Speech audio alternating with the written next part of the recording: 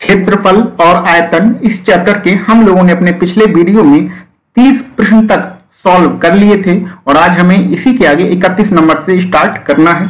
तो चलिए हम लोग स्टार्ट करते हैं। आज का अपना पहला प्रश्न, यानी 31 नंबर का प्रश्न हमारा आज का पहला प्रश्न है। तो प्रश्न देख लीजिए, प्रश्न बहुत ही आसान है, इसको हम लोग जल्दी से सॉल्व करेंगे।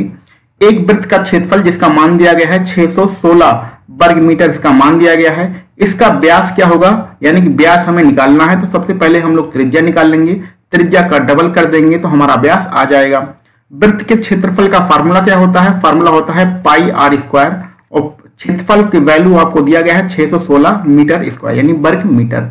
इसका हम लोग मान रखते हैं पाई का मान होता है बाईस बटे सात, यहाँ पर रहेगा आर स्क्वायर और ये रहेगा 616 इसको हम लोग 11 से कैंसिल आउट करते हैं। 11 दूनी बाईस और इसको कैंसिल करेंगे तो 11 पच्चीस पचपन छह बचेगा ग्यारह छके छाछठ।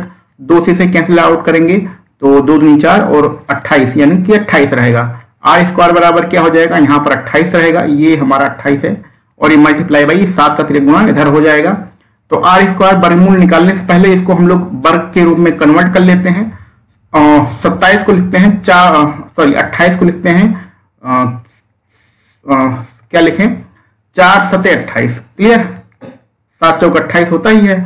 अब इसको हम लोग वर्गमूल ले सकते हैं तो आर स्क्वायर का वर्गमूल हो जाएगा हो जाएगा आर। दो का सॉरी, चार का वर्गमूल होता है कितना दो, और सात गुणे सात, यानी उनचास उनचास का वर्गमूल कितना होता है सात। आर की वैल्यू कितनी आ जाएगी? चौदह। तो चौदह मीटर हमारी आर की वैल्यू आ जाएगी। अब जल्दबाजी में आपको ऑप्शन नंबर बी पे टिक नहीं लगा देना है चौदह मीटर, क्योंकि ये त्रिज्या नहीं पूछ रहा है, ये ब्यास पूछ रहा है। तो ब्यास क्या होता है? त्रिज्या का डबल यानी टू आर होता है। तो टू आर की वैल्यू चौदह दुनिया अट्ठाईस मीटर रहेगा। तो जल्दबाजी में चौदह पे आंसर नहीं लगाना है। ऑप्शन नंबर सी हमारा बिल्कुल सही रहेगा, अट्ठाईस मीटर। तो रेलवे एनटीपीसी यही बार बार काम करता है कि प्रश्न को थोड़ा बहुत घुमा के देता है, जिससे आप आंसर निकालने के बाद भी कहीं ना कहीं जल्दबाजी में गलती कर देते हैं। आगे बढ़ते हैं, बत्तीस नंबर के प्रश्न पर, ये तैतीस नंबर का है। हाँ अब ये बत्तीस नंबर का प्रश्न हमारा आ चुका है। प्रश्न, सारे आसान हैं बसरते आप ध्यान रखिएगा, कोई चीज़ में घुमा फिरा कर तो नहीं दी गई है। प्रश्न में लिखा गया है, एक वृत्त की परिधि 22 सेंटीमीटर है। तो जो वृत्त की परिधि का फार्मूला होता है, वो फार्मूला होता है सॉरी वो फार्मूला होता है टू पाई आर ये हमारी परिधि का फार्मूला है और परिधि दिया गया है बाईस सेंटीमीटर ठीक है? यही टू पाई आर की वैल्यू आपको दी गई है। तो अर्धवृत्त का क्षेत्रफल निकालना है। तो अर्धवृत्त क्या होता है? पहले वृत्त का क्षेत्रफल निकाल लेंगे, फिर उसका आधा कर देंगे तो अर्धवृत्त का क्षेत्रफल आ जाएगा। चलिए, परिधि की वैल्यू कितनी दी गई है? टू पाई आर इसमें सबकी वैल्यू रख दीजिए पाई की वैल्यू होती है बाईस बटे सात, आर की वैल्यू हमें निकालना ही है इधर हो जाएगा बाईस, ये बाईस से बाईस कैंसिल आउट हो जाएगा। आर की वैल्यू कितनी हो जाएगी? सात का तिरक गुणा इधर होगा, दो का तिरक गुणा इसके नीचे आएगा, यानी कि सात बटे दो सेंटीमीटर हमारी आर की वैल्यू रहेगी। अब वृत्त का क्षेत्रफल कितना होता है? वृत्त का क्षेत्रफल होता है पाई आर स्क्वायर, ठीक है? तो ये तो वृत्त का क्षेत्रफल होता है। आधे वृत्त का क्षेत्रफल क्या होगा? आधे वृत्त यानी अर्धवृत्त। तो वृत्त के क्षेत्रफल को आधा कर दीजिए तो यही आपके अर्धवृत्त का क्षेत्रफल हो जाएगा, ठीक है? कोई नया फार्मूला तो बनाना नहीं है। अब इसमें वैल्यू पुट कर दीजिए। पाई का मान कितना होता है? बाईस बटे सात होता है। आर स्क्वायर यानी आर का डबल करना है आर का वर्ग करना है। तो आर की वैल्यू है सात बटे दो। तो सात बटे दो का स्क्वायर है यानी सात बटे दो हमारा दो बार लिखना पड़ेगा। ये अभी नीचे वाला दो हमारा बच्चा है तो नीचे वाला दो भी आप लिख दीजिए। इसको सॉल्व कर लीजिए, आपका आंसर आ जाएगा। ये सात से सात कैंसिल आउट हो जाएगा। ये दो से कैंसिल आउट करेंगे तो ये ग्यारह बार कैंसिल आउट होगा। इसको यहाँ ले देते हैं, ग्यारह का साथ में हम गुणा करेंगे तो सतहत्तर रहेगा और नीचे दो का दो में मल्टीप्लाई करेंगे तो आपका चार आएगा। यानी सतहत्तर बटे चार करना है, आपको चार का भाग सतहत्तर में देना है। तो चार एकम चार, तीन बचेगा, हो जाएगा सत्ताईस, चार नौ छत्तीस तो एक बचेगा, हो जाएगा दस, चार दुनिया आठ, दो बचेगा, चार पंचे बीस, यानी उन्नीस दशमलव दो पाँच सेंटीमीटर स्क्वायर यानी वर्ग सेंटीमीटर आपका आंसर रहेगा। ऑप्शन नंबर बी आपका बिल्कुल सही रहेगा। तो बहुत ही आसान प्रश्न है, इसमें ज़्यादा दिमाग नहीं लगाना है। इन सारे प्रश्नों को तुरंत देखते हुए ही हमें आंसर कर देना है। आगे बढ़ते हैं अपने तैतीस नंबर के क्वेश्चन पर। इकतीस हमारा हो चुका है। तैतीस नंबर का प्रश्न भी आसान ही प्रश्न है, इसको जल्दी से सॉल्व करते हैं। 22 सेंटीमीटर परिधि वाले वृत्ताकार क्षेत्र का, वृत्ताकार क्षेत्र का क्षेत्रफल क्या होगा? तो हमें क्षेत्रफल निकालना है। किसका निकालना है? वृत्ताकार यानी वृत्त का। परिधि कितनी है? परिधि हमारी 22 सेंटीमीटर दी गई है। ये आपकी उन्नीस, उनतीस मार्च को आ चुका है एग्ज़ाम में। तो परिधि का आपको वैल्यू पता है, परिधि का फार्मूला क्या होता है? टू पाई आर होता है। और परिधि का मान कितना दिया गया है इसमें? बाईस सेंटीमीटर दिया गया है। तो वृत्त की परिधि टू पाई आर होती है और टू पाई आर का मान कितना दिया गया है? बाईस सेंटीमीटर दिया गया है। यहाँ से हम लोग क्या निकाल लेंगे? त्रिज्या निकाल लेंगे। त्रिज्या निकालने के बाद फिर क्षेत्रफल का फार्मूला रख देंगे। तो दो बाई पाई का मान कितना होता है? बाईस बटे सात होता है। त्रिज्या हमारी आर है, बराबर के हाँ कितना है? बाईस है। ये बाईस से बाईस कैंसिल आउट हो जाएगी। आर की वैल्यू कितनी रहेगी? सात का त्रिगुणा करेंगे तो ऊपर जाएगा और दो का त्रिगुणा करेंगे तो ये कहाँ आएगा? ये नीचे आएगा। यानी कि सात बटे दो सेंटीमीटर आपके वृत्त की परिधि रहेगी। ठीक है? सॉरी आपके वृत्त की त्रिज्या हो जाएगी सात बटे दो। अब वृत्ताकार क्षेत्र का क्षेत्रफल निकालना है तो क्षेत्रफल का फार्मूला क्या होता है? Pi R square pi R square ये आपके क्षेत्रफल का फार्मूला होता है। इसमें वैल्यू पुट कर दीजिए। पाई का मान कितना है? बाईस बटे सात है। आर स्क्वायर यानी आर का वर्ग करना है तो आर का वर्ग आर का मान कितना है? सात बटे दो।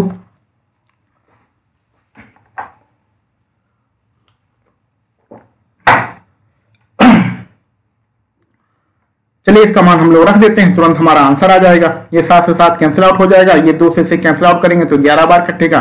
ग्यारह का साथ में मल्टीप्लाई करेंगे तो सतहत्तर आएगा, और नीचे कितना है? नीचे दो है। दो का भाग आपको सतहत्तर में करना है, चलिए कर दीजिए। तो दो तीन छह, बचेगा कितना? सत्रह, दो अठे, सोलह और दो पंचे दस। तो अड़तीस दशमलव पाँच सेंटीमीटर स्क्वायर आपका आंसर रहेगा ऑप्शन नंबर डी बिल्कुल सही है। कुछ भी नहीं करना है। आपको परिधि का मान दिया है और क्षेत्रफल निकालना है तो पहले आर की वैल्यू आप पता कर लीजिए। उसके बाद हम लोग क्षेत्रफल का मान निकाल सकते हैं। आगे बढ़ते हमारे चौतीस नंबर का प्रश्न बहुत ही अच्छा प्रश्न है। इसमें लिखा गया है, एक पहिए का व्यास चौरासी सेंटीमीटर है। तो व्यास अगर चौरासी है तो त्रिज्या कितनी हो जाएगी? त्रिज्या इसकी आधी हो जाएगी। तो आधी कितनी होगी? कितना होगा? बयालीस। बयालीस सेंटीमीटर हमारी त्रिज्या हो जाएगी। और सात सौ बानवे मीटर की दूरी तय करने में इसे कितने चक्कर लगाने पड़ेंगे, यही हमें निकालना है। तो पहिए के लिए याद रखिएगा, पहिया जो होता है, वो वृत्ताकार मतलब वृत्त के आकार का होता है। ऐसी कंडीशन में जो वृत्त की परिधि होती है, टू पाई आर, यही हमारे पहिए की भी परिधि होगी। तो पहिया जो होता है, अपनी परिधि के बराबर एक चक्कर लगाता है। तो पहिया अपनी परिधि के बराबर एक चक्कर लगाता है। परिधि की वैल्यू कितनी होती है? टू पाई आर, यानी टू पाई आर में पहिया जो है, एक चक्कर लगाया, लगाएगा। ऐसे ऐसे हमें कितने चक्कर लगाने हैं? मान लेते हैं हम ऐसे ऐसे एक्स चक्कर लगाना है। तो ऐसे हमने एक्स चक्कर लगाया। तो कुल कितनी दूरी तय किया? कुल हमने दूरी किया, आपके प्रश्न में लिखा है, सात सौ बानवे। तो सात सौ बानवे मीटर आपने कुल दूरी तय किया। एक चक्कर में कितनी दूरी तय कर रहे हैं? टू पाई आर, यानी परिधि के बराबर। ऐसे हमने कितने चक्कर लगाए? तो हमने मान लिया एक्स चक्कर ऐसे लगाए हैं। तो टोटल कितनी दूरी तय करेंगे? टोटल जितनी दूरी तय करेंगे, वो आपके प्रश्न में दिया गया है, सात सौ बानवे मीटर। अब आप ध्यान रखिएगा कि जो व्यास दिया गया है, यानी कि त्रिज्या हमने बयालीस सेंटीमीटर निकाली है, ये सेंटीमीटर में है और ये सात सौ बानबे किसमें है? मीटर में है। तो इसको भी हमें सेंटीमीटर बनाना पड़ेगा, क्योंकि हमारे सारे मात्रक एक ही वैल्यू में होनी चाहिए। तो चलिए पहले मान रखते हैं। दो, पाई का मान कितना होता है? बाईस बटे सात। आर आर हमने कितना निकाला है? बयालीस सेंटीमीटर। तो यहाँ पर बयालीस सेंटीमीटर लिख दीजिए। ये एक्स एक्स हमने माना है, जितने चक्कर लगाता है, इसी का मान तो हमें निकालना है। यहाँ पर कितना है? सात सौ बानवे। ये किसमें है? मीटर में। मीटर को सेंटीमीटर बनाएँगे तो सौ का गुणा करना पड़ेगा। इसको सॉल्व कर लेंगे, आपका एक्स की वैल्यू आ जाएगी। चलिए सॉल्व करते हैं। सात से कैंसिल करते हैं। ये सात छह बार कैंसिल होगा।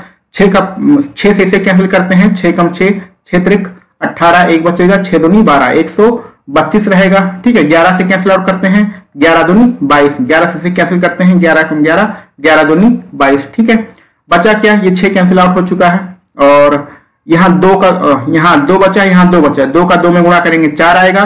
चार को इस बारह से कैंसिल आउट करेंगे तो कितनी बार कट, कटेगा? तीन बार कटेगा और ये दो ज़ीरो पीछे है ही और यहाँ क्या बचा है? सिर्फ़ आपका एक्स बचा है। तो एक्स बराबर तीन सौ आपका आंसर आ जाएगा। 300 ऑप्शन नंबर बी हमारा बिल्कुल सही रहेगा। यानी कि सात सौ बानबे मीटर की दूरी तय करने में हमें टोटल 300 चक्कर लगाने पड़ेंगे। पैंतीस नंबर का प्रश्न हमारे सामने आ चुका है और ये मौखिक प्रश्न है। रेलवे एनटीपीसी के एग्ज़ाम में या ग्रुप डी के एग्ज़ाम में बहुत सारे प्रश्न, कम से कम तीन से चार प्रश्न आपको ऐसे मिलेंगे जो मौखिक ही लगाना है। अगर इसमें थोड़ा सा कॉमन सेंस यूज़ कर लेंगे तो ये प्रश्न आपका मौखिक ही प्रश्न है। कैसे प्रश्न को एक बार पढ़ते हैं? एक वृत्त की सबसे बड़ी जीवा की माप 10 सेंटीमीटर है और सबसे छोटी जीवा की माप 4 सेंटीमीटर है। तो वृत्त की त्रिज्या क्या होगी? तो पहले हम लोग यहाँ पर एक वृत्त बना लेते हैं। मान लेते हैं ये वृत्त है। सबसे बड़ी जीवा तो सबसे बड़ी जो जीवा होती है, वही हमारा वृत्त का व्यास होता है। इस चीज़ को ध्यान में रखिएगा। यहाँ पर लिखा है, सबसे बड़ी जीवा, सबसे बड़ी जो जीवा होती है, वही वृत्त का व्यास कहलाता है। तो सबसे बड़ी जीवा कितनी है? 10 सेंटीमीटर की है ठीक है? ये पूरा कितना है? 10 सेंटीमीटर है। तो त्रिज्या कितनी होगी? त्रिज्या व्यास का आधा होता है। सबसे बड़ी जीवा क्या होती है? व्यास होती है। तो अगर वृत्त का व्यास 10 सेंटीमीटर है तो त्रिज्या कितनी होगी? त्रिज्या हमारी उसकी आधी 5 सेंटीमीटर होगी। तो हमें निकालना क्या है? वृत्त की त्रिज्या निकालना था। वृत्त की त्रिज्या ऑप्शन नंबर बी हमारा बिल्कुल सही रहेगा।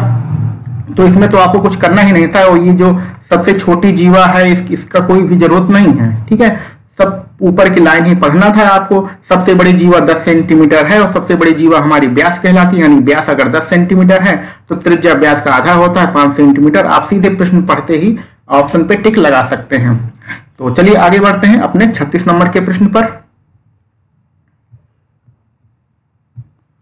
प्रश्न में दिया गया है 28 मीटर व्यास तो अगर किसी वृत्त में व्यास हमारा 28 मीटर होगा तो त्रिज्या कितनी होगी? व्यास की आधी। तो कितना मीटर हो जाएगा? चौदह मीटर हमारा त्रिज्या हो जाएगी। अब आगे बढ़ते हैं। एक वृत्ताकार मैदान को समतल करने की लागत क्या होगी? यदि शुल्क एक रुपए प्रति वर्ग मीटर है तो एक वर्ग मीटर में कितना रुपया खर्च हो रहा है? एक रुपया खर्च हो रहा है। तो हम लोग क्षेत्रफल निकाल लेंगे। क्षेत्रफल हमारा वर्ग मीटर में आएगा। तो एक वर्ग मीटर में अगर एक रुपया खर्च हो रहा है तो टोटल रुपया खर्चा निकालने के लिए हम लोग क्षेत्रफल मल्टीप्लाई कर देते हैं। तो सबसे पहले हमें क्या निकालना है? वृत्त का क्षेत्रफल निकालना है। फार्मूला क्या होता है? Pi R square value put करते हैं बाईस बटे सात, आर की वैल्यू हम निकाल चुके हैं। और इसका वर्क करना है, यानी इसको दो बार लिखना है। तो ये हमारे क्षेत्रफल का फार्मूला होगा, यानी कि मीटर स्क्वायर में। अब हमें निकालना है कितना रुपया खर्च होगा। तो रुपया एक सौ पच्चीस रुपया खर्च होता था एक वर्ग मीटर में, लेकिन हमारे पास टोटल कितना है? इतना वर्ग मीटर है। टोटल कितना है? ये हमारा टोटल वर्ग मीटर है। तो टोटल रुपया खर्चा कितना होगा? यानी कि बाईस बटे सात multiply by fourteen multiply by fourteen then multiply एक वर्ग मीटर में 125 तो 125 का भी इसमें आप गुणा कर देंगे तो टोटल आपका खर्चा निकल आएगा। ये हमारे पास टोटल वर्ग मीटर थे। एक वर्ग मीटर में कितना खर्चा है? 125 तो इस टोटल वर्ग मीटर में कितना खर्चा है? 125 का मल्टीप्लाई करना है। तो हमने वही किया, सात से कैंसिल आउट करते हैं, सात दिन चौदह। ये दो का दो में मल्टीप्लाई करेंगे तो चौवालीस हो जाएगा, यहाँ पर आपका चौदह रहेगा, यहाँ पर आपका वन टू फाइव रहेगा, एक सौ पच्चीस रहेगा। इसका जब आप मल्टीप्लाई करेंगे तो आपका सतहत्तर हज़ार रुपया आंसर आएगा। इसको आप मल्टीप्लाई कर लीजिएगा, ठीक है? तो सतहत्तर हज़ार ऑप्शन डी आपका बिल्कुल सही रहेगा। यानी कि सतहत्तर हज़ार रुपया हमारा इसमें खर्चा रहेगा। आप इसको मल्टीप्लाई कर सकते हैं, आराम से इसमें कोई दिक्कत की बात नहीं है। तो प्रश्न आसान है, कोई दिक्कत की बात नहीं है, सिर्फ़ आपको एक बार इस वीडियो को देख लेना है किस प्रकार के प्रश्न आपके रेलवे की परीक्षाओं में आते हैं, उसको आप समझ जाइए कॉन्सेप्ट अगर समझ जाएँगे तो फिर कोई दिक्कत नहीं होगी, गलत होने के चांसेस कम हो जाएँगे। आगे बढ़ते हैं अपने सैतीस नंबर पर। चौदह सेंटीमीटर त्रिज्या वाले एक वृत्त की परिधि में वृद्धि ज्ञात कीजिए। यदि त्रिज्या में सात सेंटीमीटर की वृद्धि की जाए तो आप ऐसे समझिए कि हमारा पहले कोई वृत्त है, ठीक है इसमें क्या करना है कि एक वृत्त बनाना है जिसकी त्रिज्या कितनी है? चौदह सेंटीमीटर है। ठीक? और एक दूसरा वृत्त बनाना है जिसमें सात सेंटीमीटर की वृद्धि कर दी जाए। तो जब त्रिज्या में हम लोग सात सेंटीमीटर की वृद्धि कर देंगे, पहले चौदह था, सात की वृद्धि कर देंगे तो त्रिज्या कितनी हो जाएगी? त्रिज्या आपको इक्कीस सेंटीमीटर हो जाएगी। ठीक है? और हमें निकालना है परिधि में। परिधि में कितनी वृद्धि होगी, ये हमें निकालना है। अब यहाँ पर एक छोटा सा कॉन्सेप्ट आपको समझा रहे हैं। प्रश्न तो बहुत ही आसान है। पहले इसको हम लोग ऐसे समझते हैं कि पहले हमारी त्रिज्या कितनी थी? चौदह थी। ठीक है? जब हमने सात की वृद्धि किया तो त्रिज्या कितनी हो गई? त्रिज्या हो गई हमारी इक्कीस सेंटीमीटर। ठीक? वृद्धि कितनी हुई है? सात सेंटीमीटर की हुई है। तो हम पहले इक्कीस सेंटीमीटर की परिधि निकालें, फिर चौदह सेंटीमीटर की परिधि निकालें दोनों का ये हमारी बाद वाली परिधि निकाल लीजिए। टू पाई आर का फार्मूला यूज़ करके ये पहली वाली परिधि है। परिधि का formula two pi R use करके निकाल लीजिए, फिर इसमें से ये घटा दीजिए तो उससे कोई फ़ायदा नहीं है इतना लंबा प्रोसेस करने से। आप क्या करिए, इससे वृद्धि निकाल लीजिए। वृद्धि कितनी हुई है? सात सेंटीमीटर की वृद्धि हुई है। तो वृद्धि हमसे पूछ रहा है तो वृद्धि ही हम लोग निकाल लेते हैं, यानी टू पाई आर परिधि का हम लोग फार्मूला रखेंगे टू पाई आर इसमें जितना वृद्धि हो रही है, सिर्फ़ उतना मान रखिए। तो वृद्धि कितनी हो रही है? सात की हो रही है। तो बाईस बटे सात, और सिर्फ़ वृद्धि का मान रखिए, यानी कि वृद्धि कितनी हो रही है? सात सेंटीमीटर की। ठीक है तो सात का ही हमें मान रखना है। ये सात से सात कैंसिल आउट हो जाएगा। बाईस दूनी कितना हो जाएगा? चौवालीस। तो चौवालीस सेंटीमीटर की हमारी वृद्धि होगी। ऑप्शन नंबर बी हमारा बिल्कुल सही रहेगा। अगर आपको ये कॉन्सेप्ट नहीं समझ आया है तो आप पुराने कॉन्सेप्ट से कर लीजिए। जो हमारा नया वृत्त बना है, उसकी त्रिज्या कितनी है? उसकी त्रिज्या 21 है। यानी कि 2 पाई और यहाँ पर 21 ये आर की मान हमने 21 रखा है। ठीक है? और माइनस पुराना वाला वृत्त है, उसकी त्रिज्या 14 है तो उसकी परिधि कितनी होगी? 2 पाई आर और आर का मान कितना है? 14 तो इसको भी सॉल्व कर लेंगे तो भी आपका आंसर 44 सेंटीमीटर ही आएगा। तो सिंपल तरीका तो यही है कॉमन जो पुराना तरीका है, या सिंपल तरीका यही है, लेकिन इसी प्रश्न को हमने एक नए तरीके से किया है, जिसमें सिर्फ़ वृद्धि सात सेंटीमीटर की हो रही है, सिर्फ़ उसी पर ध्यान दीजिए, सिर्फ़ उसी से आप लोग परिधि निकाल सकते हैं। तो चौवालीस सेंटीमीटर ऑप्शन नंबर बी हमारा बिल्कुल सही रहेगा। आगे बढ़ते हैं अपने अड़तीस नंबर के प्रश्न पर। यह प्रश्न बहुत ही बढ़िया है, इसको आराम से हम लोग करेंगे, इसको पूरे डिटेल में आप समझते जाइए। 22 मीटर व्यास तो जब अगर 22 मीटर हमारा व्यास दिया गया है तो त्रिज्या कितना होगा? त्रिज्या आधा होगा, कितना होगा? 11 मीटर। क्लियर? वृत्त के आकार में एक बगीचा बनाया गया है। तो चलिए चित्र भी हम लोग साथ साथ साथ साथ बनाते रहते हैं। ठीक है? इसका त्रिज्या कितनी है? त्रिज्या हम लोगों ने निकाले है यहाँ से यहाँ तक। कितना है? 11 मीटर। आगे बढ़ते हैं। यहाँ वर्ग के केंद्र से खेल के मैदान के लिए चार मीटर त्रिज्या का एक वृत्ताकार भाग है। तो वृत्त के केंद्र से ये केंद्र है। यहाँ से चार मीटर। तो यहाँ से अगर हम लोग चार मीटर नापें तो मान लेते हैं इतना आ रहा है चार मीटर। तो चार मीटर आकार का एक क्या बनाया गया है? वृत्ताकार भाग बनाया गया है। तो इसके लिए हम लोग पेन को चेंज कर लेते हैं, तभी चित्र कुछ बढ़िया बनेगा। ठीक है? तो ये चार सेंटीमीटर का केंद्र से हम लोगों ने त्रिज्या लिया और उसके बाद इस तरह से वृत्त बना दिया। तो ये हमारा वृत्त बन गया। ठीक है? अब वृत्त बनने के बाद क्या हुआ? बना हुआ यह वृत्ताकार रिंग घास द्वारा ढके जाने के लिए कहा गया है। तो वृत्ताकार रिंग का क्षेत्रफल वर्ग मीटर में ज्ञात कीजिए। तो कौन सा रिंग बन रहा है? इस ऐसे अंदर दो वृत्त बनाने से हमारा एक रिंग बन रहा है। रिंग कौन सा बन रहा है? ये वाला रिंग बन रहा है। ठीक है? ये वाला हमारा रिंग बन रहा है। और इस रिंग में क्या लगानी है? इस रिंग में हमें घास लगानी है। और घास का क्षेत्रफल क्या होगा? हमें यही निकालना है। तो घास का क्षेत्रफल निकालने के लिए आप क्या करिए? बड़े वृत्त का क्षेत्रफल, यानी कि जिसकी त्रिज्या 11 है, उसमें से छोटे वृत्त का क्षेत्रफल जिसकी त्रिज्या चार है, उसको घटा देंगे तो हमारा आंसर आ जाएगा। ठीक है? तो कुछ नहीं करना है, बहुत आसानी से बड़े वृत्त के क्षेत्रफल में से छोटे वृत्त का क्षेत्रफल आपको घटाना है, आपका आंसर वहाँ से निकल आएगा। तो चलिए सॉल्व करते हैं क्वेश्चन को। बड़े वृत्त का क्षेत्रफल क्या होगा? तो इसकी त्रिज्या को बड़ा वृत्त है, यानी कि इसकी त्रिज्या को कैपिटल आर मान लेते हैं ये छोटा वृत्त है, इसकी त्रिज्या को हम लोग स्मॉल आर मान लेते हैं। तो बड़े वृत्त का क्षेत्रफल पाई आर स्क्वायर माइनस छोटे वृत्त का क्षेत्रफल पाई आर स्क्वायर तो पाई कॉमन ले लेते हैं। यहाँ पर क्या होगा? आर स्क्वायर माइनस के आर स्क्वायर और आर स्क्वायर की वैल्यू रखते हैं। कैपिटल आर की वैल्यू है ग्यारह। तो ग्यारह का वर्ग माइनस के स्मॉल आर की वैल्यू है फोर फोर का वर्ग यही होगा ना। यहाँ पर ब्रैकेट को बंद करते हैं। ये चार है। यहाँ पर कौन सा फार्मूला यूज़ होगा? यहाँ पर आपका फार्मूला होगा ग्यारह का वर्ग माइनस के चार का वर्ग। फार्मूला यूज़ होगा ए स्क्वायर माइनस के बी स्क्वायर फार्मूला होता है ए प्लस बी और इंटू ए माइनस बी ये फार्मूला होता है। इसी फार्मूले को हमें यहाँ पर यूज़ करना है। पाई का मान भी रख देते हैं। पाई का मान होता है बाईस बटे सात। बराबर एक बार, यानी कि ए प्लस बी एक बार इन्हें जोड़ना है तो ग्यारह और चार जोड़ेंगे तो कितना आ जाएगा? ग्यारह, चार, पंद्रह। एक बार घटाना है, ग्यारह में से हम लोग चार घटाएँगे तो कितना बचेगा? सात बचेगा। तो पंद्रह गुणे सात रहेगा। ये सात से सात कैंसिल आउट हो जाएगा। आपका पंद्रह का गुणा बाईस में करना है तो पंद्रह दूनी तीस। और पंद्रह दूनी तीस और तीन तैंतीस, यानी तीन सौ तीस किसमें है ये? मीटर में। तीन सौ तीस मीटर स्क्वायर यानी वर्ग मीटर आपका आंसर रहेगा। तीन सौ तीस ऑप्शन नंबर सी हमारा बिल्कुल सही रहेगा। तो कुछ नहीं करना था, बड़े वृत्त के क्षेत्रफल में से छोटे वृत्त का क्षेत्रफल घटाना था, हमारा तुरंत आंसर आ जाएगा। तो आगे बढ़ते हैं थर्टी नाइन नंबर पर। यह प्रश्न आपका मौखिक प्रश्न है, लेकिन समझने के लिए सबसे पहले आपको एक चित्र बनाना पड़ेगा। चित्र में लिखा गया, प्रश्न में लिखा गया है यदि एक समांतर चतुर्भुज ए बी सी डी का क्षेत्रफल 25 वर्ग सेंटीमीटर है तो सबसे पहले एक समांतर चतुर्भुज आप बना लीजिए। यहाँ पर हम लोग समांतर चतुर्भुज बनाने की कोशिश करते हैं। ठीक है? ये हो गया ए यहाँ बी यहाँ सी और यहाँ पर डी इसका क्षेत्रफल दिया गया है 25 वर्ग सेंटीमीटर। तो त्रिभुज बी सी डी का क्षेत्रफल क्या होगा? यही हमें निकालना है। तो बी सी डी ये त्रिभुज है, यानी कि कौन से त्रिभुज का? इस वाले त्रिभुज का क्षेत्रफल क्या होगा? ये हमें निकालना है बी सी डी वाले, इसका क्षेत्रफल निकालना है। तो आपको साफ़ साफ़ दिख रहा है, ये पूरे समांतर चतुर्भुज का ये वाला जो पार्ट है, ये आधा है। तो हमारा 25 वर्ग सेंटीमीटर अगर टोटल पूरे का क्षेत्रफल है तो इसका क्षेत्रफल कितना होगा? उसका आधा होगा। तो 25 का आधा कितना होता है? बारह दशमलव पाँच।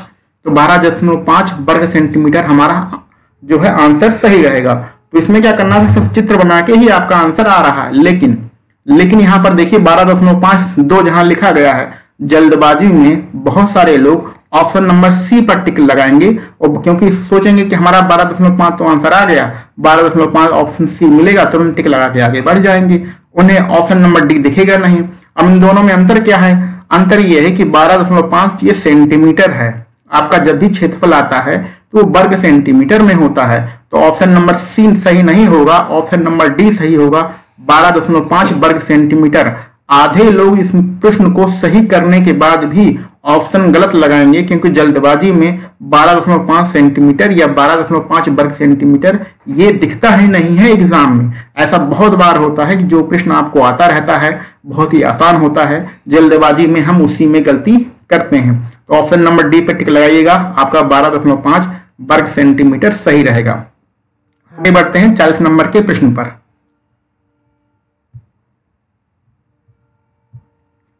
चालीस नंबर का प्रश्न बहुत ही आसान सा प्रश्न है। एक समांतर बहुभुज का क्षेत्रफल बानवे वर्ग मीटर है। अब समांतर बहुभुज से यहाँ मतलब है समांतर चतुर्भुज, ठीक है? क्योंकि चतुर्भुज भी एक बहुभुज ही होता है। तो ये इसका हम लोग चित्र बना लेते हैं। ये समांतर चतुर्भुज हो गया। इसका क्षेत्रफल दिया गया है कितना? बानवे वर्ग मीटर दिया गया है। इसकी ऊंचाई तेईस मीटर है। तो ये इसकी ऊंचाई होती है, ठीक है? ऊंचाई को हम लोग एच कहते हैं और एच की वैल्यू दी गई है तेईस मीटर हाँ सॉरी मीटर में है एच की वैल्यू कितनी है? तेईस मीटर। अब हम लोग जानते हैं समांतर चतुर्भुज का जो क्षेत्रफल होता है, समांतर चतुर्भुज का जो क्षेत्रफल होता है, ये अगर हम लोग आधार को ए मान लें, आधार को ए मान लें, और ऊंचाई को एच माने तो जो समांतर चतुर्भुज होता है, उसका क्षेत्रफल ए गुणे एच ही होता है, यानी आधार गुणे ऊंचाई, यही हमारा समांतर चतुर्भुज का क्षेत्रफल होता है। तो चलिए इसमें वैल्यू पुट करते हैं। समांतर चतुर्भुज का क्षेत्रफल कितना दिया है? 92 दिया है। आधार हमें निकालना ही है, आधार की वैल्यू हमें निकालना है। ऊंचाई कितना दिया गया है? ऊंचाई आपको तेईस दिया गया है। तो ए की वैल्यू कितनी होगी?